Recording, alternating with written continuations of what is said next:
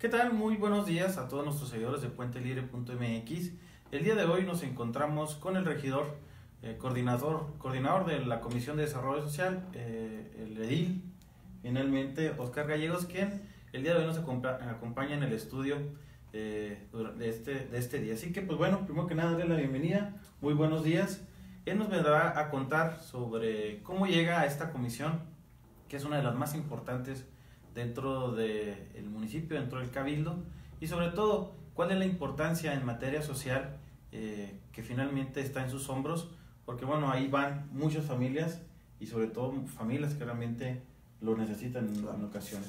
Platíquenos eh, cómo se da este paso para llegar a la, precisamente a la Comisión de Desarrollo Social como coordinador. Ok, mira, bueno, primero que nada agradecerte la invitación y saludar a todo tu auditorio esperando que estén muy bien esta mañana fresca. Eh, bueno, pues eh, lo primero para integrar la, la, Comisión de Desarrollo Social, tú debes de saber que antes de iniciar una administración, los miembros del cabildo eh, ahora sí que inician cabildeando con el próximo alcalde o con el alcalde entrante, dependiendo de los perfiles que tenga cada uno de los futuros ediles y bueno, pues eh, solicitan la integración de su persona en determinada comisión. De esa manera, bueno, pues yo tengo años trabajando en, el aspecto de la gestoría, principalmente con la gente más vulnerable, las familias más necesitadas aquí de Ciudad Juárez, y por tanto, bueno, pues a mí me toca hacer lo propio, hacerlo conducente, para eh, solicitarle al, al alcalde que, bueno, pues sea integrado, sea considerado eh, miembro de la Comisión de Desarrollo Social y al parecer, bueno, pues les pareció bueno el perfil griego del, presente y bueno, pues aquí estamos coordinando la, la, Comisión de Desarrollo Social en esta administración 2018-2021. Sabemos que hay mucho trabajo en desarrollo social, no solamente porque estamos en una ciudad con mucha gente eh, en, en, zonas que desafortunadamente están consideradas en un, eh, de pobreza, con un mayor índice de pobreza, pero en estas tres semanas que, que tienes como regidor, ¿a cuántas personas has atendido y qué problemáticas llevan para que la gente se dé una idea más o menos del trabajo que tiene usted como regidor de desarrollo social? Ok, mira, este, haciendo referencia a los índices de pobreza y a las cantidades, es increíble los datos que nos arroja el Coneval, el Consejo Nacional de Evaluación para la Política en Desarrollo Social, eh, que nos dice que más del 35% de la población en Ciudad Juárez o en el municipio de Juárez se encuentra en pobreza y pobreza extrema. Entonces estamos hablando prácticamente que más de uno de cada tres eh, juarenses eh, sufren eh, pobreza aquí en nuestro municipio.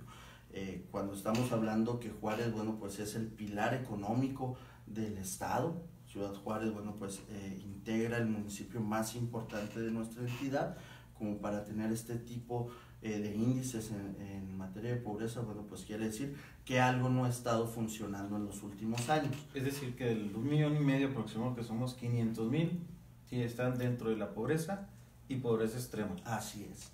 Entonces, son, demasiados, este, son demasiados los juarenses que viven eh, carencias de, de tipo este, educativo, de vivienda, este, de salud, en cualquier índice que, este, que tú lo... Educación. Eh, en, la educación, el acceso a la educación, la permanencia, bueno, pues es muy difícil. Y los programas que existen actualmente, tanto el gobierno federal, estatal y municipal, bueno, pues no eh, permiten dar una cobertura universal a todos los ciudadanos que necesitan y bueno, pues esto no, no ha podido contrarrestar eh, la tendencia increciendo de, de, la pobreza ¿no? aquí en el municipio y cuáles son los, eh, los temas que, que, trabajo con la gente que me ha visitado. La verdad, eh, no tengo un número exacto de, de, personas a las cuales he atendido en este casi mes que, que, llevamos en la administración, pero por ejemplo, hace dos días estuve en una comisión, así le llamamos a las a, las reuniones que, que, tenemos ante los eh, funcionarios. Eh, tuve una comisión en asentamientos humanos de cerca de 50 agentes, eh, representantes de la colonia siglo XXI, de la Juanita Luna, Panfilonatera, Lomas de Morelos, que precisamente buscan eh, arreglar asuntos de la tenencia de la tierra. Esto, bueno, pues nada más para, para darte un ejemplo. Además, diariamente yo estoy visitando como mínimo dos colonias en las tardes para ver, eh, para escuchar las necesidades de la gente y ver la posibilidad de encauzar eh, las eh, problemáticas que tienen ellos en su comunidad o en su colonia a través de las diferentes o las distintas dependencias municipales. Dentro de los casos que he visto que has atendido es el caso de la Juanita Luna, estas personas que por cualquier razón están en una zona de riesgo, están, empezaron a habitarla y finalmente el municipio está tratando de dar una solución. Sé que es lento porque son eh, repartir, es colocar, es señalar, pero ¿en qué momento se ha atorado esta paso que pues, realmente tiene yo creo más de un año, un año y medio en esta problemática, lo de, pues sería Colonia o zona Juanita Luna? ¿no? Así es, mira, eh, pues el problema de la, de la Juanita Luna tiene diferentes aristas, ¿no? Eh, muchas variables que se deben de tomar en cuenta. Una de ellas es la política, Tú sabes que durante el proceso electoral inmediato anterior, eh, bueno, pues se dijo que había gente de, de, Morena, de Moquen, que estaba ahí este, avivando a la que quisiera eh, la, pues, la toma de, de sus predios de, de, una manera irregular. Eh, bueno, pues el proyecto de la hora presidente municipal, bueno, pues buscaba la regularización a través de la Dirección de Asentamientos Humanos, eh, pues de una manera eh, legal, ¿no? Aquí pues, nosotros no podemos desconocer la necesidad real de la gente de adquirir un, este, un predio donde vivir, donde poder construirle, eh, si tú quieres, un cuarto de pallets y de techo de, este, plástico, de cartón a, a, sus hijos, un padre de familia preocupado por tener dónde, dónde tener a su familia. Sin embargo, bueno, pues también está el problema de ciertos vivales que aún teniendo eh, ya un predio, teniendo una casa, teniendo este, una propiedad, pues simplemente por el hecho de, tener algo más, van y piden eh, y bueno, pues esto retrasa las gestiones. La Dirección de Asentamientos Humanos necesita verificar de una manera este, puntual que las personas que están solicitando estos predios, bueno, pues realmente lo necesiten. Además, bueno, pues hay una zona que está debajo de, de los cables de alta tensión, que es una zona de alto riesgo, y como no es un, este, un asentamiento irregular, porque está fomentado por la este, Dirección de Asentamientos Humanos, pues obviamente hay que este, dejar de lado esa, esa zona donde está delimitada. Así es eh, y no poder eh, utilizarlos porque bueno, pues, si fuera un asentamiento regular como los que hacíamos en el CDP, pues, yo les decía, los compañeros, agarren y hasta agarren la, los cables de tendedero, ¿no?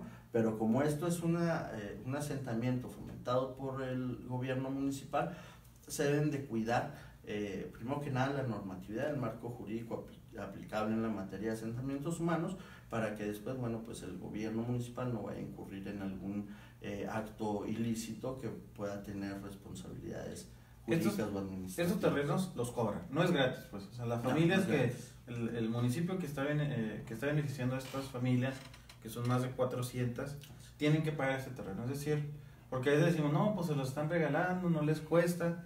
O sea, realmente eh, les cobran. ¿Cuánto ando un, un, un terreno, eh, más o menos, cuánto tendría que pagar a la persona beneficiada? Sabemos que son casos extremos, este, yo los he visto ahí en la presidencia municipal, gente que realmente se ve muy necesitada y que pues bueno, a veces es muy difícil pagar la comida, qué decir de un terreno o de algo que esté muy sencillo. Sí, mira, es, es difícil para una familia que este, se sustenta solamente con el sueldo de, del padre de familia que trabaja en la maquiladora o trabaja este, en la obra, este, y si contemplamos, bueno, pues que los miembros de la familia, la esposa, dos, tres hijos, bueno, pues eh, realmente es muy difícil el cubrir los servicios, cubrir la educación, los útiles, los uniformes, este, el, transporte, que ahora por cierto un compañero mío anda promoviendo el aumento a 10 pesos de, de la tarifa del transporte público, público. Eh, increíble, pero bueno, eh, es otro tema. Eh, entonces estamos viendo que el gobierno municipal no puede ofrecer un terreno a familias de escasos recursos que salga pues del, del presupuesto o de la capacidad económica de, de este tipo de familias, ¿no? Eh, ahorita no te puedo dar el, el, precio porque bueno pues no estamos ofertando los sí, claro, claro. pero estamos hablando de que sin embargo estamos hablando de predios donde el gobierno municipal está muy consciente de que la necesidad se encuentra presente y que no se le va a generar un costo eh, inalcanzable a las familias que quieran adquirir estos terrenos. Es decir, eh, se miden los costos y cuánto puede realmente, eh, sin que, bueno, todo daña, obviamente, pero que sea realmente algo que puedan pagar y que finalmente beneficie y que tengan un lugar donde vivir. Exacto. Pero pasando a otro tema, sabemos que una de las cosas es el trato en el cabildo. Eh, eres el único de, que llegaste finalmente del PT, que ahorita platicamos uh -huh. sobre, la, sobre ese caso, pero quiero saber cómo te han tratado como oposición en los regidores independientes, que son 11, o los regidores de, de Morena, que son 3. Dos. Dos, perdón. Dos y dos del PES. Dos del PES y este... Uno del PRI. Uno del PRI dos, y, del, y dos PAN, del PAN. Y una del Verde. Ah, el Verde, tienes razón, yo Sí. Ahora ya se me escuché, ¿no? Pero, este, ¿cómo es el trato? Porque son siete, siete partidos o siete integrantes finalmente de, de corrientes diferentes. Eh, ¿Cómo se llevan? ¿Cómo se, ¿Cómo se hablan los regidores ahí? Y finalmente, ¿quién tiene o no tiene, eh, o tienen espacio de negociación con los mismos compañeros? Claro, mira, eh, yo te voy a decir una cosa y sin faltar al respeto a ninguno de mis compañeros, los 19 eh, regidores, restantes, yo aquí no vengo a ser amigos, ¿eh? yo vengo a trabajar. Eh, batallamos suficiente eh, durante el proceso electoral en un proyecto político como para venir a, a, querer hacer amigos del PRI o del PAN. O de, no, aquí venimos, yo vengo a trabajar estos tres años para la gente. El aspecto personal, bueno, pues eh, lo dejaré para otros momentos porque yo voy a estar dedicado al 100% al trabajo comunitario, la gestoría. Eh, por eso mismo logramos la, la, Comisión de Desarrollo Social. Sin embargo, bueno, pues siempre hay trato con los demás eh, miembros de, del Cabildo. Es respetuoso. Yo soy una persona respetuosa de las formas. Eh, muy rara vez voy a, levantar la voz. Sin embargo, bueno, pues a mí me gusta ser muy claro y que se me tome en cuenta. Eh, ¿Por qué? Porque yo soy la voz de más de 7 mil ciudadanos juarenses. Aquí no se trata de Oscar Gallego, se trata eh, de la regiduría, de lo que representa un regidor. Un regidor representa más de 7 mil voluntades eh, ciudadanas. Entonces, bueno, pues yo tengo que hacer lo propio, no puedo llegar a rascarme el ombligo de 9 a 3. Entonces, eh, yo estoy obligado a trabajar.